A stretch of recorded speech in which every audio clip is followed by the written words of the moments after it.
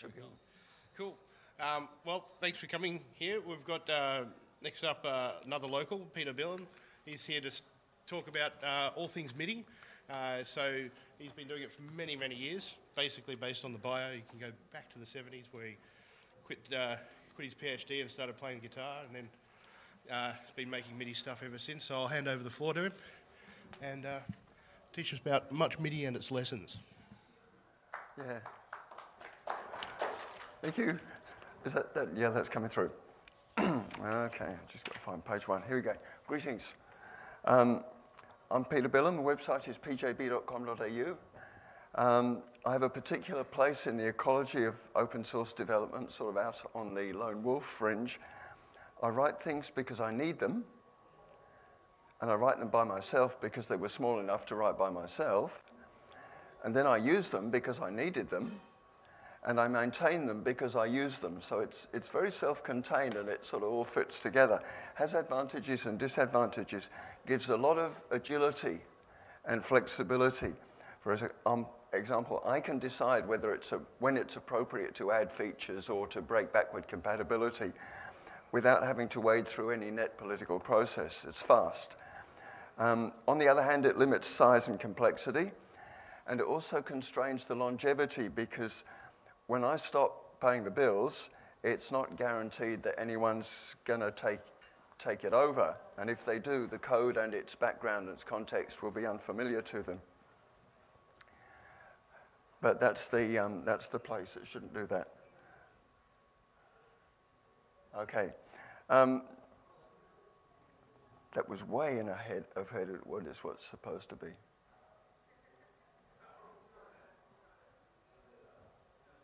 Isn't it?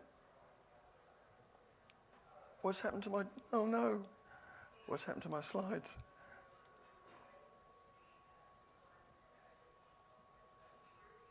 What's happened to my slides? This is more like it.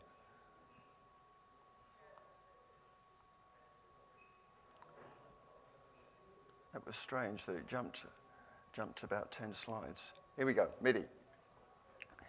MIDI is a standard agreed on in 1983 by an association of hardware manufacturers like Roland and Sony and Kurzweil and people like that. Um, they probably never dreamed that open source programmers would ever write anything relevant to it. The standard offers, so it allows you to plug in your MIDI keyboard into your synthesizer and all sorts of other gear, and it offers 16 channels, virtual channels, which go down the same wire, and each channel can be given a given, set to a given patch, um, which is an instrumental sound, like a clarinet or a sine wave or um, a piano or whatever. And each channel can be controlled by about 60 or 70 controllers that controls things like pedal up or down or tone control, volume, pan, reverb, all, all that stuff. MIDI exists, MIDI information exists in two forms. Primary is it exists in real time. So when I play a note on MIDI, my MIDI keyboard, a MIDI event goes down the wire, a particular channel, um, and it's in real time. There's no timing information necessary. The time is now. Um, the synthesizer has to perform that event uh, now. Of course, there's no such thing as now because of the speed of light, not to mention the speed of sound. And there will be some latency, and about 10 milliseconds total latency is acceptable. Of the Linux software synths, um, Timidity does not meet that. It's not usable for live um, performance in my experience. Fluid Synth just meets it on a fast CPU. Um, so that, that's okay. The second form is that it can be stored in files, in MIDI files, .mid. These files have to include their timing information. So it's, it's different format. Same information, but different format. Each MIDI event has a delta time since the previous event. It's the incremental time, it's measured not in anything normal, but in ticks. And the tick, you define yourself in the file in beats. And the beats, at last, you define in microseconds. I mostly use um, one tick equals a millisecond. But typically, MIDI files will have different tick rates, which makes them very hard to merge together. So I, most of my software tends to um, normalize everything to a millisecond tick and then work out what to do with it afterwards. Because MIDI exists in real-time real form and file form, um, you have to be able to convert between the two forms. So converting from real-time to file is called recording. And in Linux, that's done with a program called a record MIDI. Yes, worked this time. Hmm. Um, so this example um, sets 60 beats to the minute, 1,000 ticks to the uh, second, and records from my Pro Keys 88, which is a 88-note uh, um, keyboard from M Audio. A case-sensitive beginning of word match is enough. There's no um, uh, tab completion here, so it's just as well that you don't have to write Pro Keys, um, uh, whatever it is, um, 88 uh, return every time and then, then escape the, the, the space afterwards. Um, and it puts the result in f.mid. And converting from file to real time is called playing. Um, and in Linux, that's done with aplay MIDI. So this um, aplay MIDI to the timidity, um, minus p means port, it doesn't matter. But, um, and it uh, plays the file f.mid, and then you hear it through your timidity synthesizer. You can also convert it to um, audio, an audio file, because audio also exists in real-time and format and file form. Um, using timidity or uh, fluidity is my um, front end for uh, the fluid synth um, library. Uh, and this, in timidity, it's minus output in WAV format, minus O is the um, g.wav, as if it made any sense to run the thing without an output file. Why, why do they, anyway. And then uh, this is the file it works on. Fluidity is easier. Fluidity g.mid to g.wav, and that's it. I won't spend any time on the last example, but it, it's profound because it shows how MIDI controllers, like the pedal attached to my um, keyboard here, um, can be used to control audio processing, not just a MIDI synthesizer, using ecasound, which has this wonderful option, minus KM. Um, here, controller 74 on channel 15 um, regulates the first parameter of the previous um, command, which is a filter. It's just a, um, a bell-shaped filter which defaults to 400 hertz and the controller varies it between 250 and 990 hertz. And in other words, it's a wah-wah pedal. So you can wah-wah your audio um, using MIDI commands, which can govern um, audio processing. That can be useful. I don't use it as much as I thought I would. But, um, okay. I program in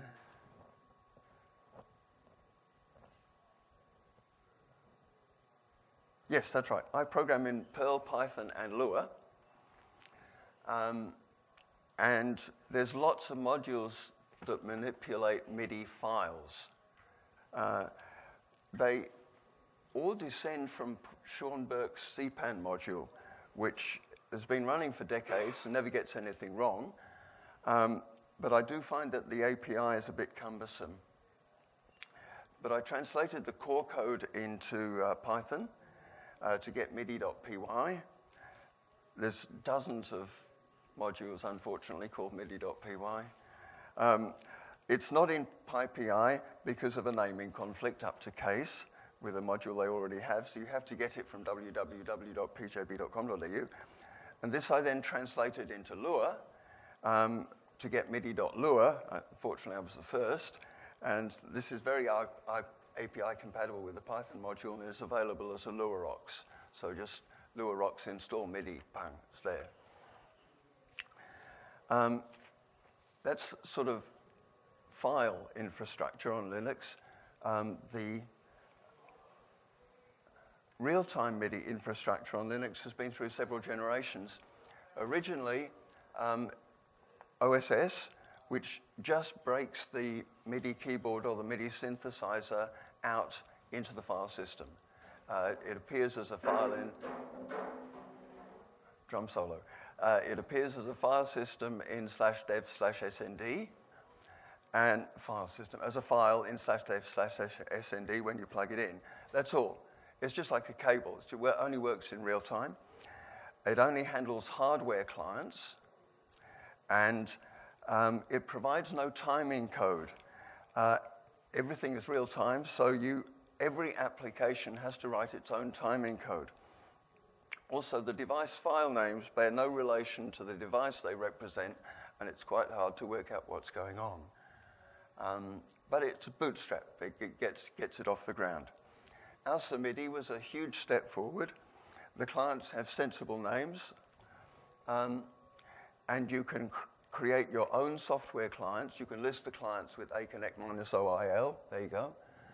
Um, and it provides you with timing code and queuing so that you can give it an event whenever it's convenient for your program to give it, get rid of this event now with an instruction, you know, play it in 17 milliseconds or whatever.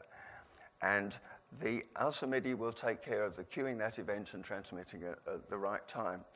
It's very easy to see what's there, A connect minus OIL, so output input list, um, and to connect one client to another. This connects the pro keys to timidity. Um, could hardly be simpler. On a single host, there's nothing more really that you could want with um, MIDI real-time infrastructure. And because I only work on one host, ALSA MIDI is all I ever use. The next step is Jack MIDI.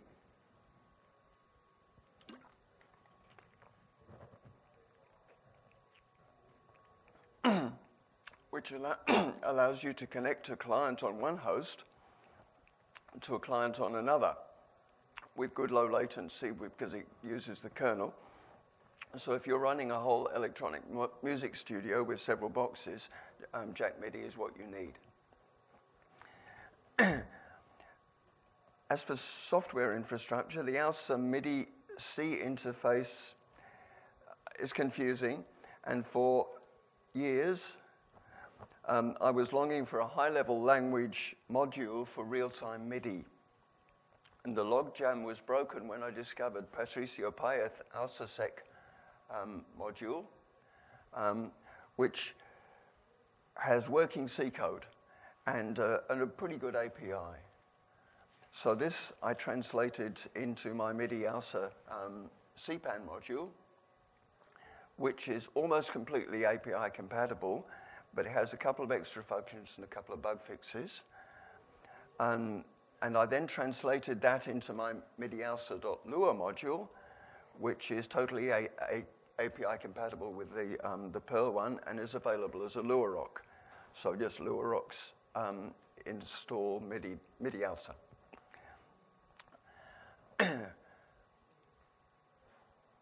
but there's more to life than infrastructure. Um, so, and I wrote these modules because I wanted the modules to write um, apps using them. So now it's time to look at the website. Screen dump. Um, this is the front page. The top section is my music, uh, which is not relevant here. But do check it out if you can read music. And if you have any friends that can read music, let them know about it too.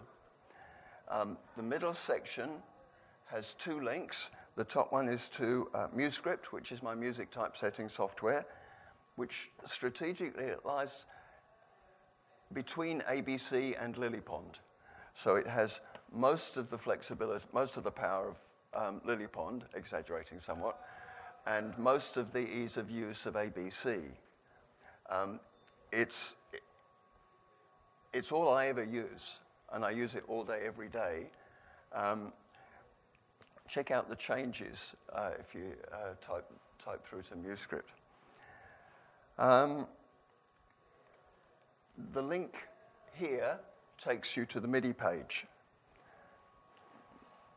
which is hopefully, yes. Um, I use all this stuff pretty much every day. And if there are any bugs, I'm usually the first to notice. Um, at least 90% of the time, I'm the first to notice the bugs. Um, so using your own stuff, it, you get quality from it, you know.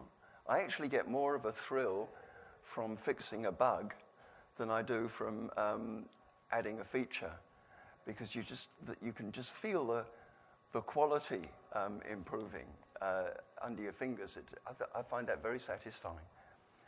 Um, today I'm going to talk about a couple of apps which manipulate MIDI files and a couple which manipulate MIDI in real time. Um, so the, I'm going to talk about MIDI SoX, it's alphabetical, here we go, and MIDI edit, which manipulate, real, man, manipulate files, and then about MIDI loop and MIDI chord, which manipulate real-time MIDI. And if th there should be time for a little demo of MIDI edits, but the MIDI loop demo um, has been cut from the program. Um, SoX. Who's heard of SoX? Good. Okay, SoX, as you may well know, um, is a well-established tool for processing audio files. It does things like mix them or concatenate them, change the tempo or the key. It does tone controls, compressor, can pad the beginning or the end with silence, trim bits off, fade in, fade out, all sorts of other effects. It can do other stuff too.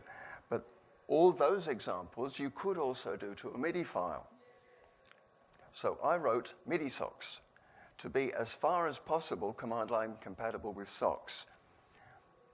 So in the, in the first example, SoX merges, that's minus M, um, the um, recordings of the bass, B.WAV, and the horns, H.WAV, increasing the volume of the horns by 1.2, and puts the result in out.wav after having trimmed off four seconds from the beginning, then faded in through two seconds, then with a total length of 60 seconds, faded out during the last three of those, and then it pads the beginning with 2.5 seconds. and once you've done that, you can play um, out.wav, and it comes out the, comes out the speakers. And the second example is the MIDI SoX equivalent. Um, so it merges uh, the, a MIDI file, which is your baseline, um, and the um, horns increasing the volume of the horns, puts the result in out.mid, um, and trims and fades and pads the beginning just exactly as in SoX. Uh, it's highly API compatible, highly option compatible, and that, I wish there was more of it, um, and that's a theme I'll, I'll, I'll come back to. And uh, the bottom is the, is the manual. That's what um, it links to when you um, that's only a screen dump, so I can't scroll down it. Um, and all, all my manual pages you'll see uh, kind of in this format.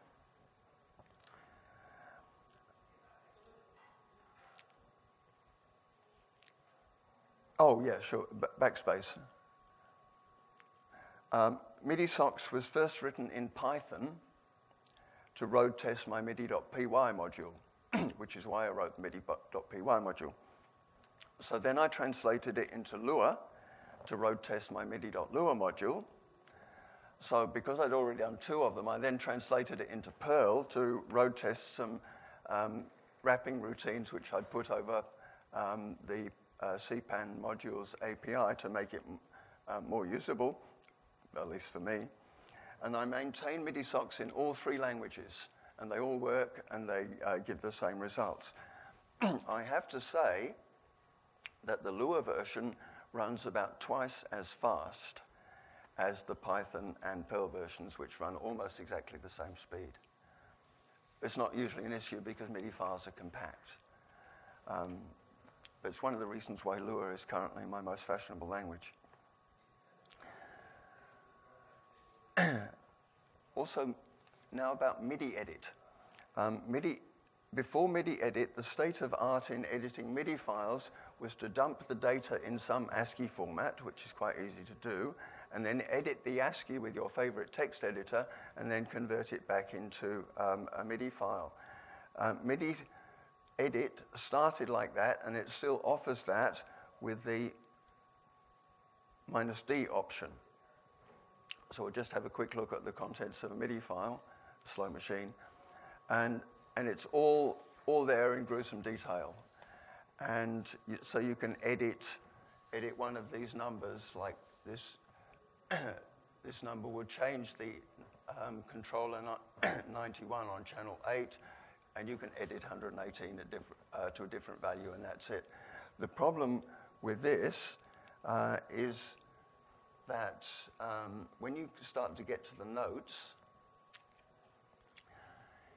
the note on event is a separate event from the note off event. So if you want to delete a note, you've got to find the corresponding note off to the note on you've just deleted. Otherwise, you have a weird MIDI file, and it's bound to cause problems sometime. And sometimes that's easy relatively, sometimes it's a real chore. Um, but those are, those are MIDI, MIDI events. so that was the state of the art before MIDI edit. Um, MIDI edit itself creates an ALSA MIDI client. You also you can't hear what you're, what you're editing. So MIDI, um, MIDI edit um, by default is now a Curses app where the UI borrows keystrokes from. Um. It should be faster to start up than that, by the way. Um, borrows keystrokes from Vi and from MPlayer.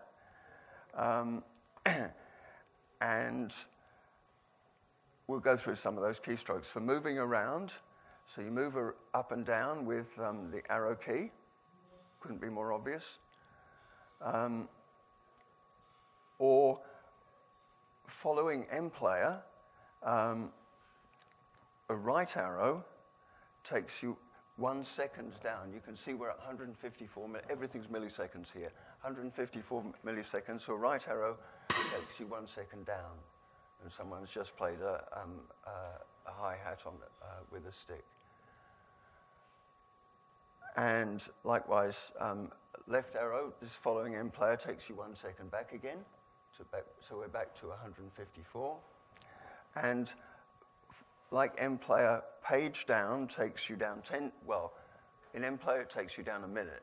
Um, uh, here it takes you down 10 seconds because DVDs are typically longer than um, MIDI files. Um, 10 seconds is what you need. So that takes us to um, 10 seconds and 1, 154, and likewise page up. Likewise, um, page home, if I can find the, here we go, takes you to the top, and end takes you to the end, exactly as you would expect. Um,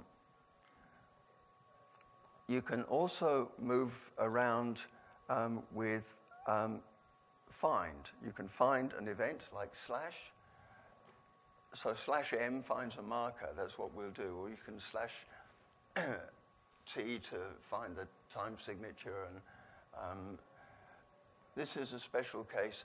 Um, slash s, it doesn't matter. Um, slash p um, changes a patch change and so on. So we'll find a marker, which is m. So that can be typed at full keyboard speed. I mean, here I'm pausing just because there's help at the bottom. Don't care about the text. And that's the first marker. Um, that's the beginning of the main section. As in Vi, N takes you to the next marker. And uppercase N takes you to the um, previous um, marker. And um, yes, uh, I think that's right.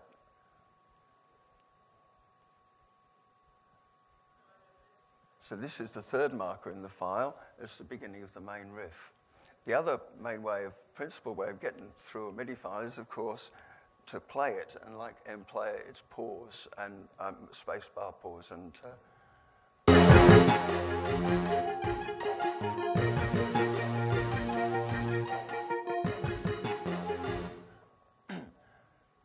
the replay speed's adjustable.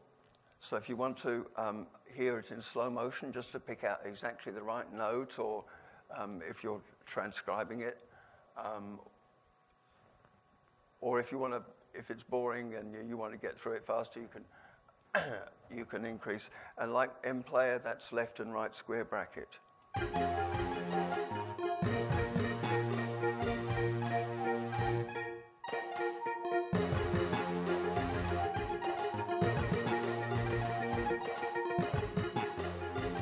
So I try to borrow keystrokes from um, uh, other apps as much as I can. Editing, let's go back home, because there is here a flagrant need. Here it sets channel, um, the controller number 91 on channel 9 to 54, but a couple of milliseconds later it, it sets it to 93. That's obviously useless, so we'll delete that one, which is uppercase D. I found I was making, with lowercase d, I found I was many, making too many typos, and that just deletes that file. You, these are displayed incremental times, but often it's of interest to you to see absolute times, um, and you do that with a minus sign, which shows you absolute times. Um, so, uh, oh, um, one second down. So it's all absolute times. And to get back to incremental times, of course, it's a plus.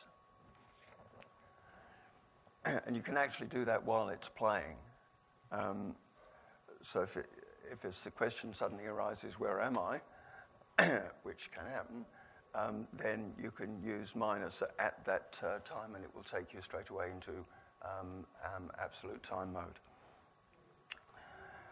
after you've deleted, after you've made any edit, um, you uh, and works as undo, um, multiple levels, and control R works as redo just exactly as in Vi. Um, oh yeah, one more cool thing. Uh, well, a couple. So you can edit an event in detail with, with um, letter E, and then um, if I can change, do something harmless, V changes the volume, and um, you just enter your number, and that's, that will be one MIDI step quieter uh, than it was, which no one's ever going to hear. Um, and then space takes you back to pause, and you undoes. Ah, I wish it wouldn't do that. Um, it that's a bug. It takes it not only undoes, but it also takes you back to where you were at the previous um, uh, time it saved the. Uh, saved the, so the, the thing has been undone, but I'm now catapulted back to it. That's a bug. I'll fix that. um, I inserts. Um, same sort of thing, so I can in, insert a note or a patch change or a marker or a bank change. We'll, we'll just quit that. And this is cool. Um, we can delete a range where you can do lots of things with ranges.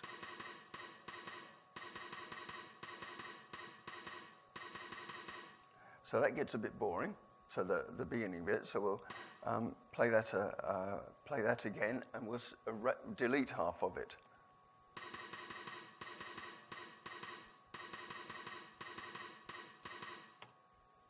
All right, so from this note onwards, we're going to delete that. So we define a range. Uppercase R defines the beginning of the range or the end. Uh, it says move to the other end of your range and press uppercase R. So we'll do that. Doesn't matter how you move.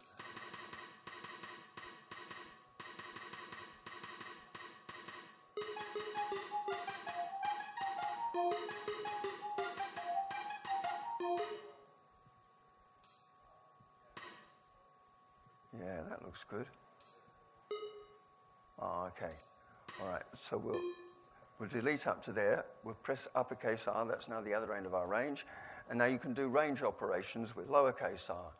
And you can do all sorts of things. You can compress or expand, um, delete the whole range, that's what we'll do. You can fade it out, um, mix it, I'll explain that sometime. Um, you can change the pitch. In other words, you can take the whole thing up three semitones, take the chorus up two semitones, make it more interesting. Um, or requantize it, repeat it five times, whatever, change the tempo, um, change the volume, or you can write that range out to a separate little MIDI file. But we'll, we'll just delete that, make it less boring. And um, home, and now this should be a snappier intro for this is for the single, single release version.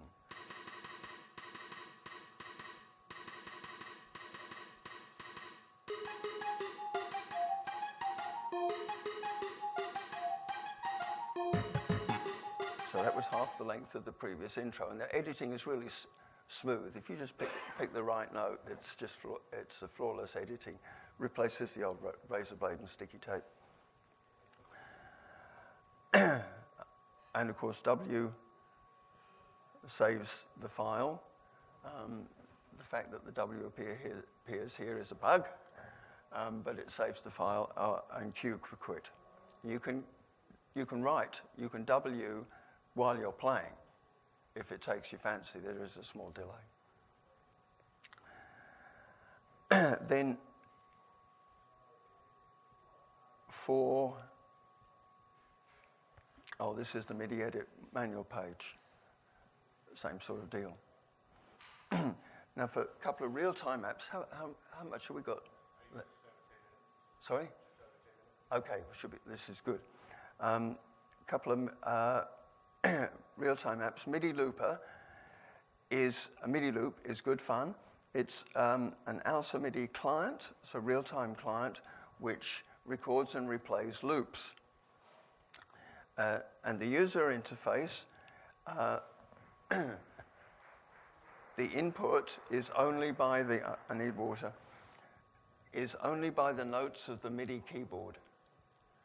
So you, it's, it's set up for live performance situations, and the top note of the keyboard, whatever it is, takes you into sort of command mode, and on a MIDI keyboard, was, um,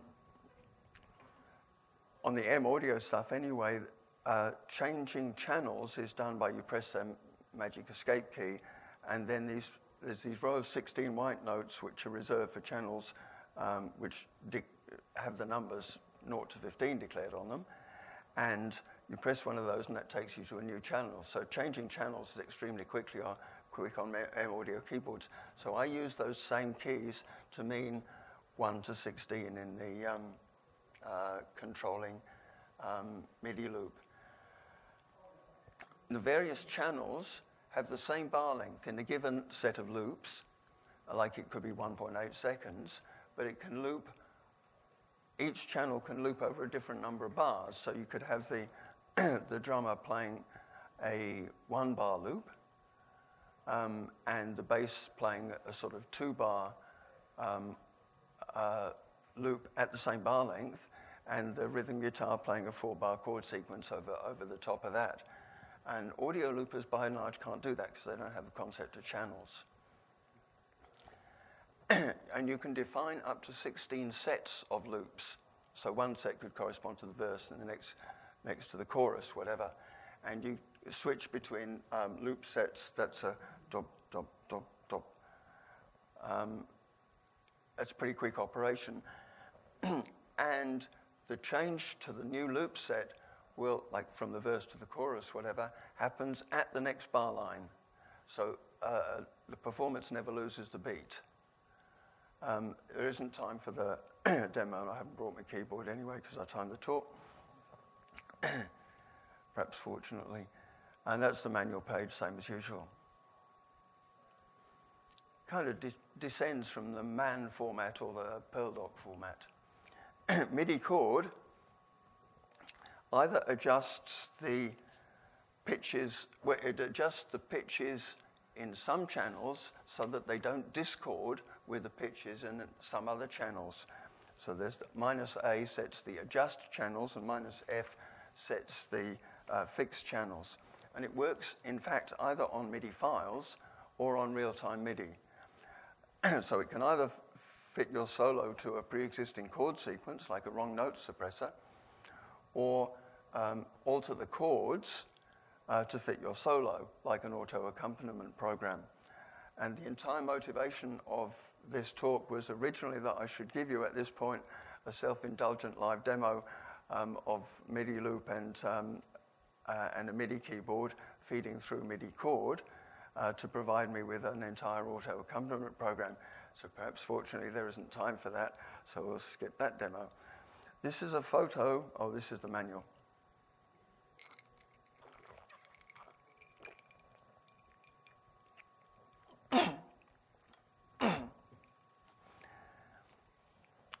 this is a photo of my setup at home. the lower um, keyboard is an M Audio Pro Keys Sono 88, which contains its own little um, low-tech um, synthesizer, which works really nicely. The output of that goes to the Zoom G3, top left there, um, effects unit, and it then appears out the Yamaha HS5 speaker um, here, bottom right.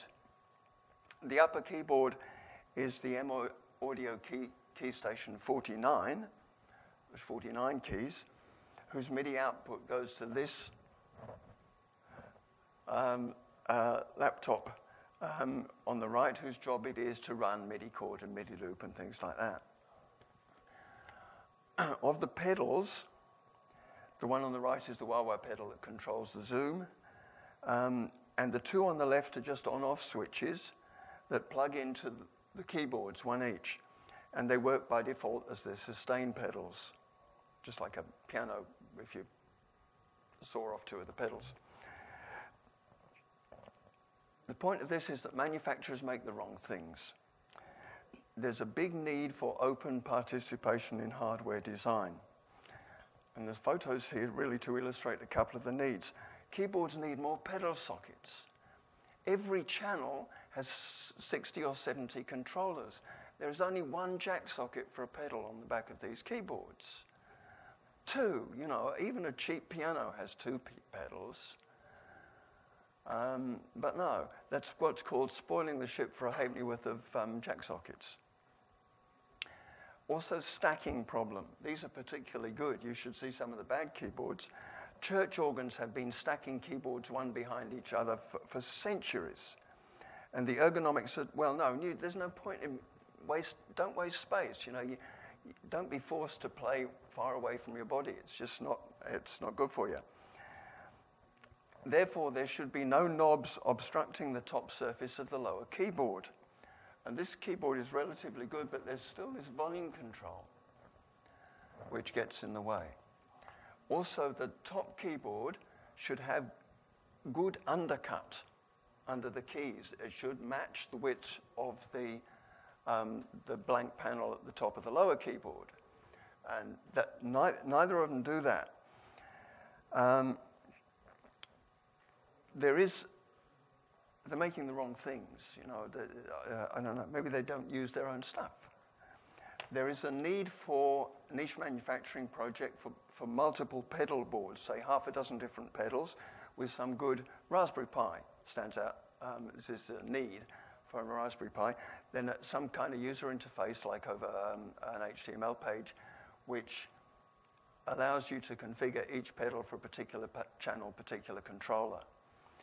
Um, that would be a good niche manufacturing bloke in a shed type project. Lots of people could do that. There's a lot of people out there, way beyond me, who can play bass notes with their feet, that um, have the training. We need good, affordable 30 note organ, church organ style pedal boards. There's a lot of people who can play that. It's almost completely unavailable. It's another good niche manufacturing project. There's also there's a huge need for better documentation of commercial gear. What's the system command to assign a, a particular pedal to a particular controller or to set the keyboard to a particular channel? It's almost completely undocumented. We could do this. You want, to, want your own guitar, you can make your own guitar, okay? You can't do that with a MIDI keyboard. You need a manufacturer. We could do the changes by organized crowdsourced lobbying of manufacturers. Um, or someone could set up a small um, uh, homebrew um, manufacturing garage and buy a 3D printer and try and turn out his own uh, MIDI keyboards. That's more of a challenge. challenge. but we could do it by organized lobbying of manufacturers. Okay, this is the dreaded bit at the end where I've revealed to you the lessons I have learned from life.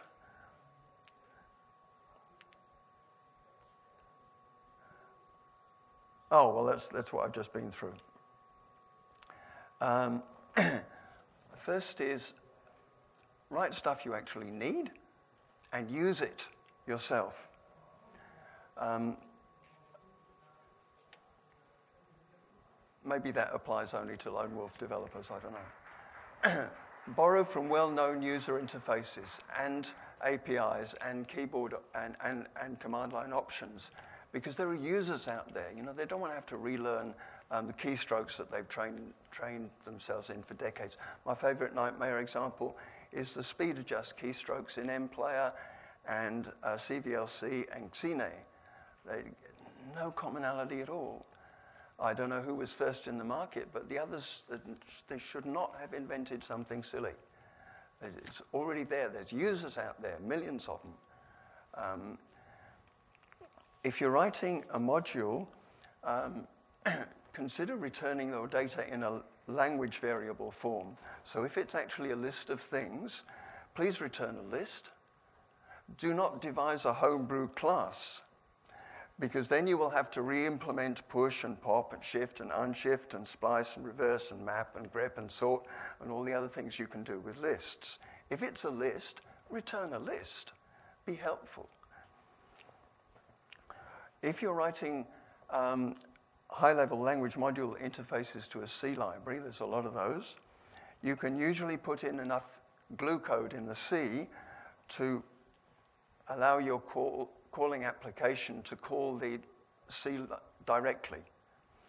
Um, don't do that. Put in a thin, higher level language in front of the C. That gives you a lot of flexibility for the future. You can add a simple subroutine if you need it, or check arguments, especially check arguments if they're the wrong type. Then you can raise problems in a language, high-level language appropriate way, because the way you complain about a problem in Python is totally different from the way you complain about it in um, in Lua. And it's all set up for you at the high level language. There's glue code that exists to do that in C, but it's hard to write. Very obscure and impossible to translate. Write translatable code. Translate your modules. If what you've written is any use, it will outlast any particular fashionable programming language. I have code that's now in its fifth language. I actually miscounted, it's now in its sixth. Translatable code, translation is a wonderful walkthrough for your code because you actually have to understand what it means, what it does. Ah, then you re-express that in the new language. Uh, so it improves quality everywhere. And give your different um, modules compatible calling interfaces uh, across the different languages. Make it easier for your users to translate their code. Also, the big repositories, apparently CPAN now has this. The big repositories need a formal up for adoption process like Debian has.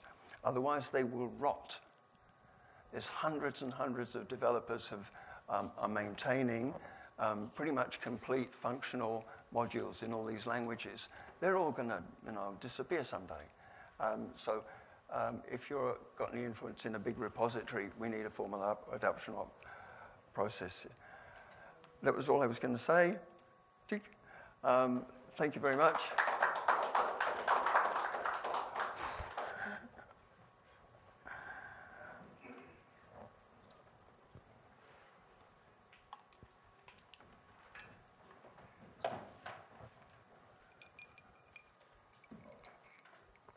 for that um, very, very great introduction for me, for MIDI anyway, and uh, now I've got to go home and bring out all the 8-bit uh, MIDI stuff that uh, on those zip disks and uh, remix them and edit them.